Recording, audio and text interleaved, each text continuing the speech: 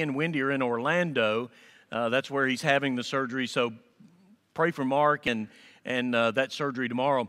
But Mark usually does the welcome. I said, Kelly, you're going to do it. He said, Well, what are you preaching on? I said, Well, why did Jesus come? That's not what I'm preaching on. I'm preaching on where did he come from. But I, we're going to get to the idea of why he came. But the, but the title is where he came from. And the text is taken from John, the ninth chapter, verse 29, where the Pharisee said to the man that had been healed that was born blind. Do you remember that story? The Pharisee said, We know that God spoke to Moses. As for this fellow, we don't know where he's from. And I look at the world today and, and I look at how they view Jesus, and I recognize they don't, they don't know where he came from. That they picture Jesus as just another man they picture him as a good man, probably, and, and some have even said that, that he was a good man. He treated people well, he had compassion on people, he fed the hungry, he healed the sick. He was a good man. But they don't recognize him as the Son of God, and they don't recognize where he came from, which we're going to talk about in just a minute. And so I, I began to wonder I, how many Christians do not fully understand where Jesus came from.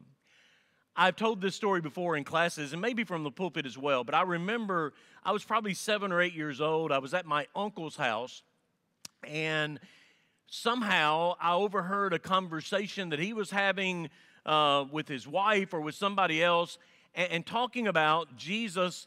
And, and, where he came from. And, and I, was, I was flabbergasted. I mean, even at seven years old, I had been in the church since I was three days old, I guess, or two weeks old. I don't know and I didn't fully understand where Jesus came from. So let's look at this for just a minute this morning. Number one, the, the point, the main point is this He's eternal and He came to earth from heaven. You see, at seven years old, I had not fully realized that Jesus didn't just enter the world as a baby like every other baby.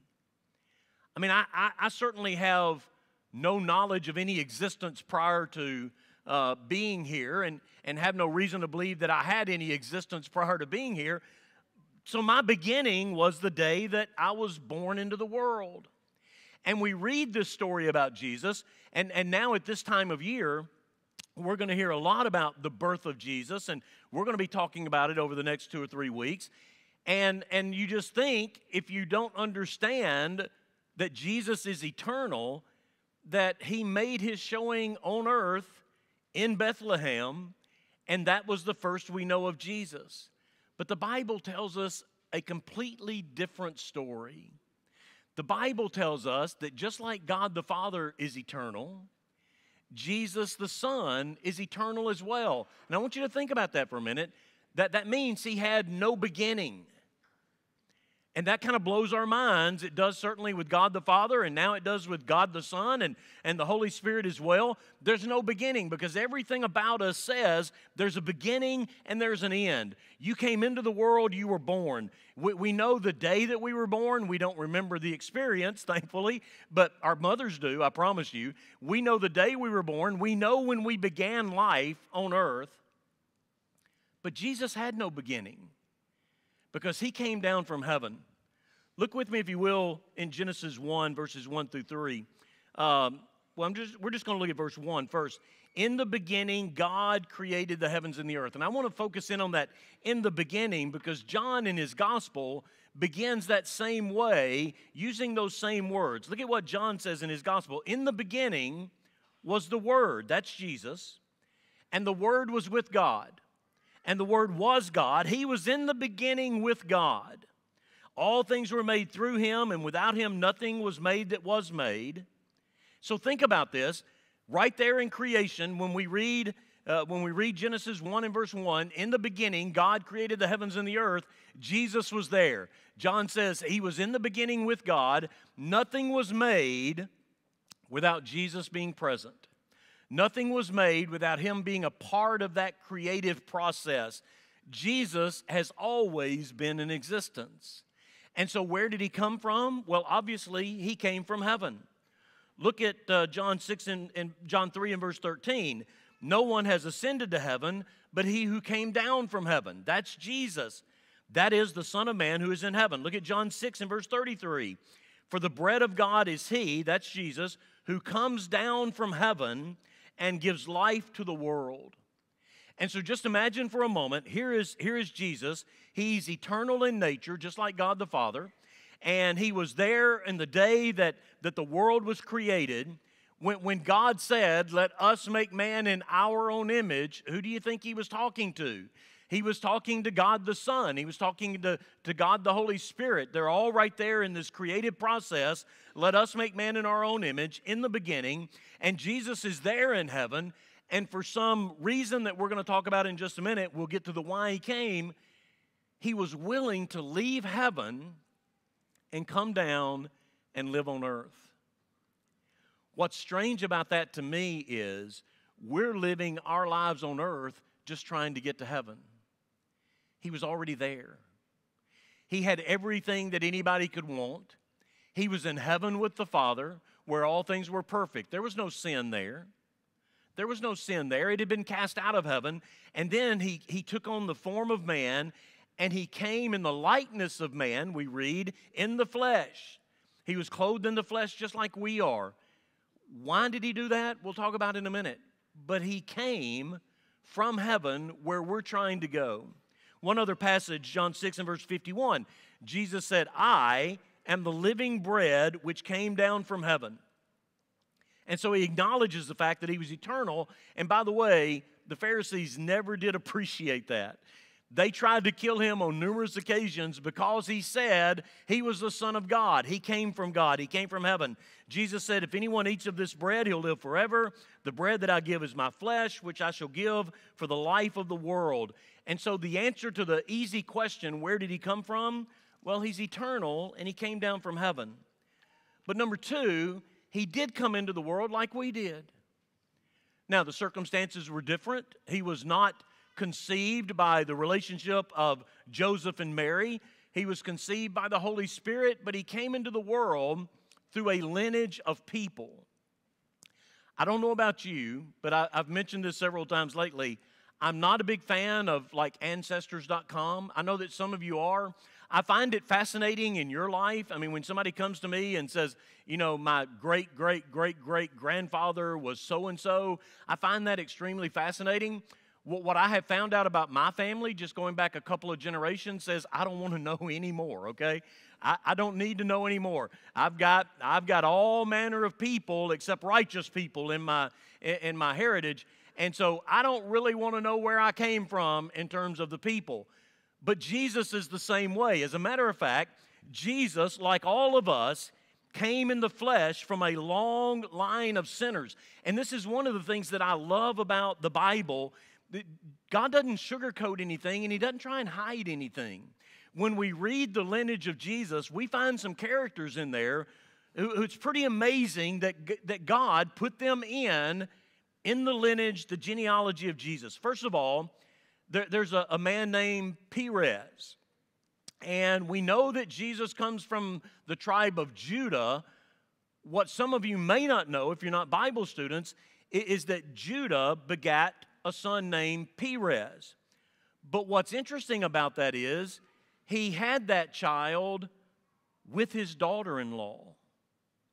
Now, it's a sordid tale, and you can go back and read it, but just imagine that, that Jesus came into the world, and part of his genealogy is this relationship between Judah and his daughter in law, Tamar, and through that relationship came this child, Perez. Next, we find later on that Salmon begot Boaz by Rahab. Well, Rahab was a former harlot in Jericho. And so she was in Jericho. She was a harlot. The Bible says that plainly. She helped the spies with the agreement that when they destroyed Jericho, that she and her family would be saved. They became a part of, of the family or the congregation of Israel. And, and in that, she met Boaz, or Salmon, and they had a child named Boaz, and he is in the lineage of Jesus. Why, why didn't God do it some other way? Why didn't God bring Jesus into the world through this long line of righteous people? Well, we'll talk about that in a minute, but you know what? None of us came into the world through a long line of righteous people. I, I, I know you've gone back in your ancestry.com and you know some things about your family, but I promise you, they were all sinners. We all came from this long line of sinners. And then there is probably one of the most famous stories of sin in Scripture, and that is David and Bathsheba. And through the lineage of David and Bathsheba, they had a son named Solomon that we know. Through the lineage of David, Bathsheba, and Solomon, Jesus came into the world. Bathsheba was the wife of Uriah, whom David had killed or, to try and cover up the affair that they had. Now, I guess he covered it up pretty well with the people around him, but he didn't fool God, did he? But why did God bring Jesus into the world that way? Why, why didn't he bring him in through this long line of righteous people? Well, the reality is that even several of the kings of Judah that we read about in Israel, they all had this notation, and they're in the genealogy of Jesus. They walked in the sins of their father. And the reason God could not bring Jesus into the world through a lineage of righteous people is what we read in Romans 3 and verse 10. As it is written, there is none righteous, no, not one. Show me in Scripture a, a line of people that could have brought the Messiah into the world and they were righteous people. They're not there. They're not there because it is the nature of man ever since Adam and Eve ate of that fruit and sin came into the world. Every man, woman, they're sinners. And so if Jesus was going to come in through some lineage, it was going to be through a long line of sinners just like us. Romans 3 and verse 23 all have sinned and come short of the glory of God. And so, like all of us, he came in the flesh from a long line of sinners. Now, you may look at your parents and say, well, they may be sinners, but they're good people. And I, and I'm, I imagine that is correct. I feel that way about my parents. They're good people, but I promise you, they're sinners. And I look at Mary and Joseph, and, and obviously we know that Joseph wasn't physically his father, but he did raise him as his child. He is called his father on earth. Um, Mary was obviously a, a righteous woman, but she herself was a sinner. When Jesus died, he died for her just like he died for me and you. When Jesus died, he died for all the sinners of the world, and that included all of this long line of people that he came from. There was nothing special there. But why did he come? This is where Kelly wanted me to go. Why did he come? And this probably is the most important part. And so as we get into the Christmas season and we see we see the, the babe Jesus in the manger, and everybody is celebrating the birth of Christ, if you will, let's remember where he came from. Let's remember who he came from. But let's also remember that he came with a purpose. And the purpose we find in Matthew 18 and verse 11. Jesus said, The Son of Man has come to save that which was lost. When he says save that which was lost, he was talking about you. He was talking about me. Jesus Christ came into the world to save you and to save me. He left heaven, the place that we're striving to get to, the place that we want to be, the, the, the, place that we consider to be, and rightly so, the, the, the greatest pinnacle of, of greatness and, and, and, righteousness, and there is where God resides, and there's where Jesus is now, and, and there's where all of the righteous dead are, and that's where we want to be. Jesus came from there, and He came for the specific purpose of saving lost people, and that includes every one of us. It's an amazing story of redemption. It's an amazing story of love that God has for his people, that he was willing to send his son into the world to die for us. Luke 19 and verse 10 the Son of Man has come to seek and to save that which was lost. Jesus came to seek us, he came to save us, he came to gather us together with he and his Father through the Holy Spirit. What a, what a great story that that is. And then we read in John, the 10th chapter, in the 10th verse, Jesus is talking about the sheepfold and the shepherds and the thieves. He, he said, The thief does not come except to steal and to kill and to destroy, but I have come that they may have life and that they may have it more abundantly. You see, when you came into the world, God may have had a purpose for you, but you didn't know what it was. And, and may, you may still be struggling with that today. Many people do. They struggle with, with their purpose. Why am I here? Why did God bring me here? But Jesus came with a very specific purpose, and that purpose was to save lost people and that includes everybody in this room today. It includes everybody in this community. It includes everybody in the world that has ever lived except for Jesus himself. The billions of people that have ever been alive on earth, Jesus came so that they might be saved. He came to seek and to save the lost. It's why he came. So he was in heaven. He came down among us. He came from this long line of sinners and he came to save sinners, but he's not here today, is he? I mean, as believers, we recognize that he came out of that grave on the third day.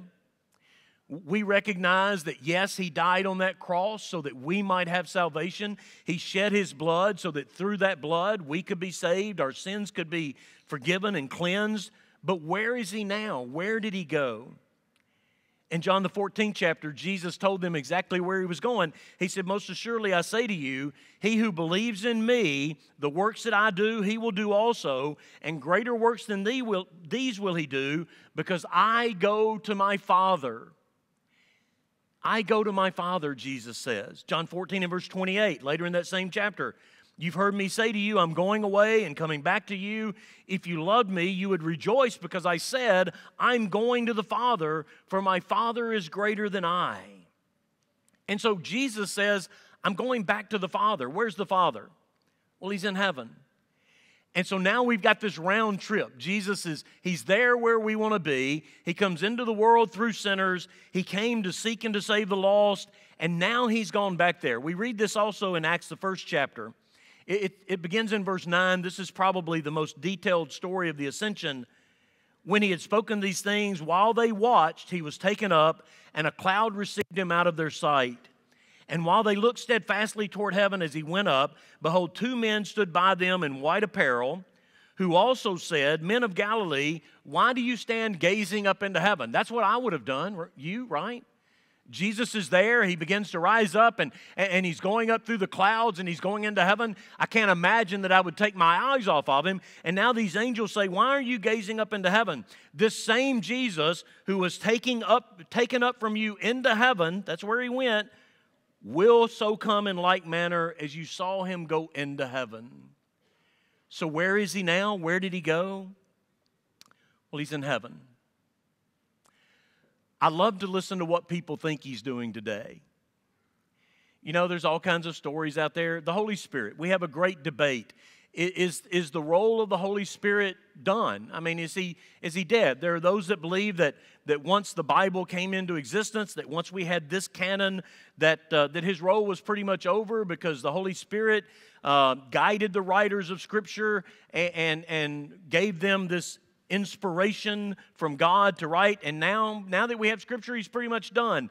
And I don't think the Bible teaches that at all. I think he's got a great ministry and a great work today, working in our lives and, and dwelling within us. So, what is Jesus doing? Well, some say, well, he's just he's sitting at the right hand of the Father, and that would be true. But what's he doing there? Well, he's, he's mediating for us. That's true as well. The Bible tells us that, that there's one mediator between God and man, the man Christ Jesus.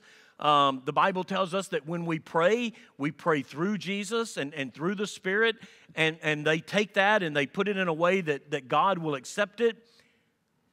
But look at John 14 in verses 1 through 3. I find this the most comforting. I find this to be the greatest story of what Jesus is doing for us today. Jesus said to his disciples, Let not your heart be troubled. You believe in God, Believe also in me. In my Father's house are many mansions. If it were not so, I would have told you. I go to prepare a place for you. And if I go and prepare a place for you, I will come again to receive you to myself, that where I am, there you may be also. Jesus says, I go to prepare a place for you. several years ago, um, when my dad was alive, and we decided that we needed to move him into a home. And uh, that was a difficult day, not a day that I ever want to relive. Um, but before, the, a few days before we moved him in, Marley and I went into this room and we prepared it for him. We put pictures on the wall of people that he, that he should remember if he remembered anybody at all. We put a picture of the church that he, that he last preached at that someone had painted for him. And we put all these things on the wall, we put pictures on the desk, and we prepared that room for him. Now, my dad had dementia. He didn't fully understand what was going on, but I had gone to him that day and I said, Dad, let me take you to lunch. And he said, Okay, I'll go to lunch with you. And, um, and, and, we, we went to lunch at the manor, and then we walked over to his room. And, and, and when we walked in the room, even though he had dementia, he saw the pictures and he recognized that was going to be his place. And he said, I'm not staying here. but he did. And we had prepared that room for him. Within a few weeks, he got settled in, and that became his home. And he recognized that. But I say that because when I think about Jesus preparing a place for us, it's, it's not construction. It's not necessarily a hammer and nails and lumber building us a room. It's building a place where we're going to feel at home. It's preparing a place for us where we're going to be comfortable. It's a preparing a place for us where we're going to want to be. He didn't really want to be there, but Jesus is preparing a place for us where we want to be. It's personal to us. A few years ago, I got a call from a hospice nurse. And um, she said, Mr. Cornwell, I have a patient that visited your church back in the 1990s for several weeks or months and now she's dying and she wants to see you. And so I went down to the to the nursing home and uh, she had cancer and her days were short. She was dying. And and I got to tell you it's it is one of the highlights of my life to meet this lady. She was such a special lady, but her mother had told her that she could not go to heaven because she had done something early in life that, that her mother said was unforgivable. God would never forgive her. And here's this lady that had lived her entire life. She was, she was baptized as a child, she was raised in the church, but her mother had convinced her in her 30s that she could never go to heaven. And so we sat and talked about that, and I assured her that that was not true. I didn't know why her mother told her that. Her mother maybe just didn't understand the grace and the mercy of God. Maybe she didn't understand the blood of Jesus and how strong it is. But I told her, I said, Do you believe that Jesus is the Christ, the Son of God? Yes. And you've been baptized for remission of your sins? Yes. Have you prayed that God would forgive you for the sin you committed? And she said, All my life. And I said, Honey, you're going to be in heaven. You're going to be in heaven. and as a matter of fact, I told her this. I said, as a matter of fact, here's what I want you to do. When you get there, tell them that you want a room right next to mine because I would be honored to spend eternity with you. Two or three days later, she died. I got a letter from her daughter, and she just said, I just want you to know that after you talked to my mom, her whole disposition changed. She was no longer afraid of dying, she embraced it. And she was so happy those last two or three days because she knew she was going to heaven. Let me tell you something Jesus was in heaven, but he came for us. He came through a long line of sinners. I just think that's proof to us that we're all sinners in need of a Savior. God didn't sugarcoat anything. He came to seek and to save the lost, and he went back to heaven and He's preparing a place for you. But whether you accept that place or not is up to you. Whether you choose to live eternity there or not is up to you. But I promise you, He's preparing a place for you. Is that where you want to go? Is that where you want to be? Then obey the gospel of Jesus Christ. Obey the gospel of Jesus Christ. Become part of his family. Allow the blood of Jesus Christ to do its work and to cleanse your sins. If you've not been baptized for the remission of sins, let's do that today. We can do that today because Jesus has prepared a room for you. It's there. If you are a child of God, but you've let sin get in your life and you've turned your back on God, then God is always saying, Come back home. Come back home. I just want you to be at home. I don't care where you've been, I'm only interested in where you're going. Come back home and be a part of my family. That's what God calls out to us today. I want you to be in heaven. I want you to be in a room close to mine. I've already got somebody on one side. I don't know who's going to be on the other. I want you to be around me. I want you to be with me. But I promise you, I'm going to be there. And I can say that with full assurance, not because I'm a righteous person, but because Jesus Christ died for me, and I accept that. I believe in that, and I give my life to that.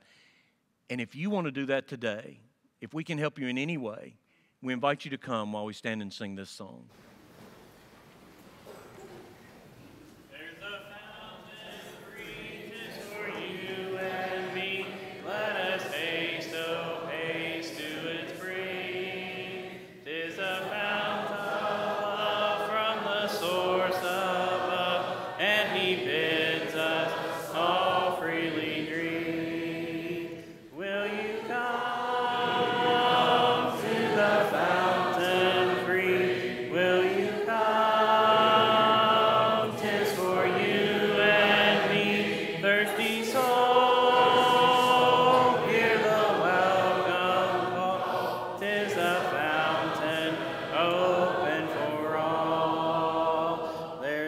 Be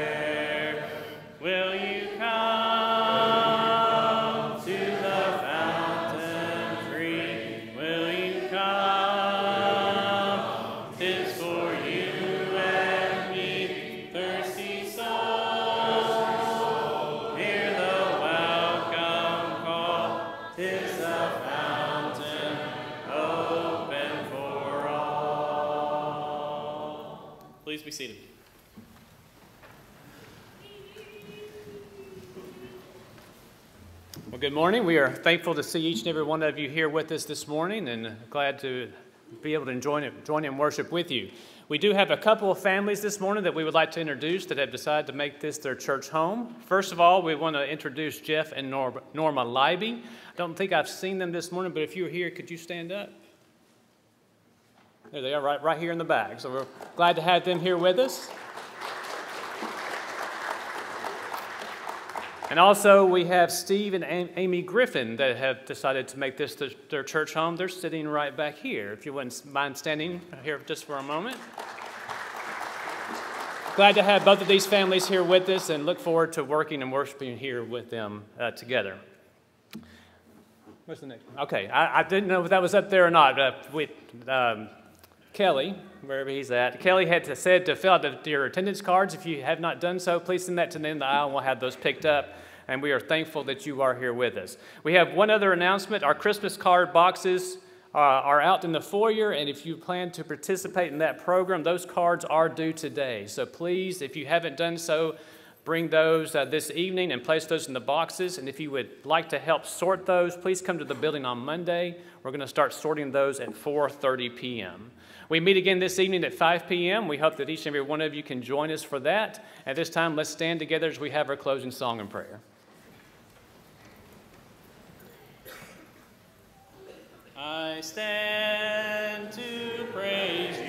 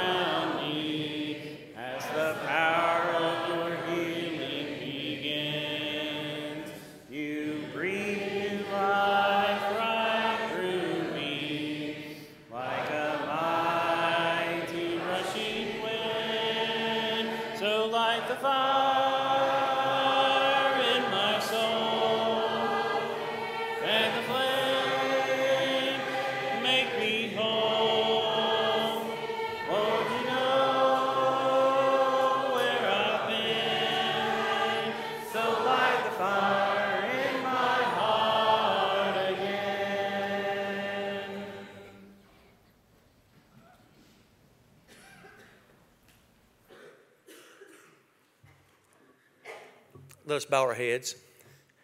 Our most gracious and kind Heavenly Father, we're truly thankful for this first day of the week that you have blessed us with and for the time we've had to come and study a portion of your word. Dear Lord, please help us to realize that you've given us the greatest of all gifts, and that is your Son who died on the cross for our sins, that we have an opportunity of life in heaven with you. As Wayne's message was this morning, please help us to realize, dear Lord, that you are interested in our future and for us to focus on that and not our past. Please forgive our many sins, dear Lord. In Christ, and we pray. Amen.